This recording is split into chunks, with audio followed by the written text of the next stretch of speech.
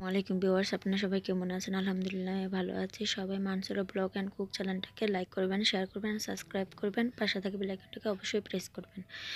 আমি আজকে আপনাদের সাথে একটা অন্যরকম রেসিপি শেয়ার করব। সেটা হলো মেথি দিয়ে রিডা মাছের তরকারি। এখানে আমি মেথি নিয়ে নিয়েছি একটা পিরিচের মধ্যে। আর এখানে আমি সয়াবিন তেল আর পেস্ট করছি একটা কড়াইয়ের মধ্যে দিয়ে ব্রাউন কালার করে বেজে নিচ্ছি।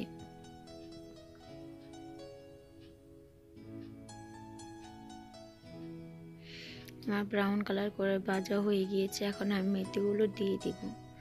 দেখতে পাচ্ছেন, এখানে আমি মেথি দিয়ে দিয়েছি। মেথি কিন্তু শরীরের জন্য অনেক উপকার, চুলের জন্য যেরকম উপকার। আর মেথি তরকারি খেতে কিন্তু খুবই ভালো লাগে। যারা যারা খেয়ে থাকেন বা খেয়েছেন, তারাই বলতে পারবেন।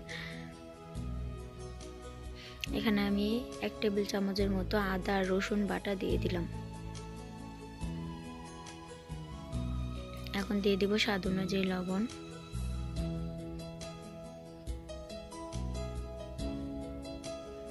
আপনারা আপনাদের লবণটা টেস্ট অনুযায়ী দিয়ে নেবেন। আর আপনাদের বলছি এই রেসিপিটা ট্রাই করে দেখবেন। খেতে কিন্তু খুব ভালো। এক চা চামচের মতো হলুদের গুঁড়ো। দিয়ে দিয়ে একটু লাড়াচাড়া দিয়ে নিচ্ছি। এখন এখানে মরিচের গুঁড়ো দিয়ে নিব। আর মেথি তরকারি একটু ঝাল ঝাল না হলে ভালো লাগে না। এখানে আমি দু টেবিল চামচের মতো মরিচের গুঁড়ো ব্যবহার করেছি। আর আপনারা জালটা আপনাদের স্বাদ অনুযায়ী দিয়ে নেবেন। এবং সামান্য পানি দিয়ে ভালো করে কষিয়ে নেব।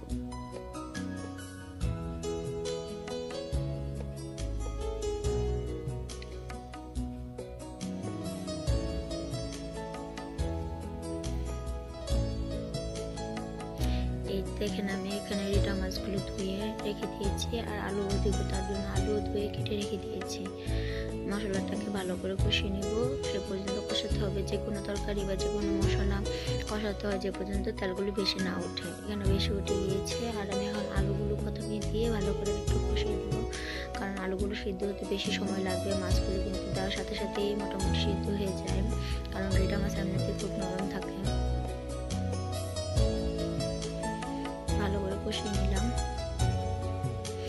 সামান্য পরিমাণে একটু পানিও অ্যাড করেছি যাতে আলুটা সিদ্ধ হয়ে যায়। এখানে পানিটাও শুকিয়ে গিয়েছে। এই পর্যায়ে আমি মাছগুলো দিয়ে দিব। মাছগুলো দিয়ে ভালো করে লাড়াচাড়া দিয়ে একটু মাছগুলোর সাথেও ভালো করে কষিয়ে নিব।